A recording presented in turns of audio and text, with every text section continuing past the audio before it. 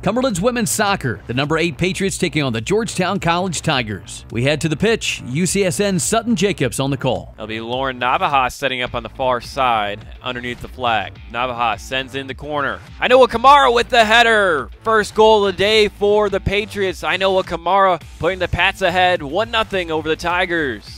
Patriots moving quickly upfield. That's Skinner with the ball. Passes up to Randez. Randez with the shot. And from long range, Sarah Randez. Second goal of the day for the Patriots. Her first as she continues to lead this team now with her 12th goal this season. Skinner moving the ball forward. A ball up to Zerborg. Zerborg cross coming in and header. Another header for the day for the Patriots. That's Jaden Bolter, number 22. Her sixth goal this season. Navajas setting up. Ball sent in. High ball once again to the far post. Kamara gets underneath the header and it goes right off the crossbar. Unlucky break for her. Could have gotten her second goal of the game. Navajas coming up to clean up. Sends another cross in and this time Kamara does convert. Another goal for Kamara. Her second of the day. Patriots doing a really good job of moving forward on offense, offering a lot of press on the Georgetown defense. Lorca to Riley Barrett. A little give and go. Barrett over to Videskog, and it's another goal for the Patriots. Moa Videskog with their first collegiate goal. A nice cross from Riley Barrett to put the Pats even further ahead.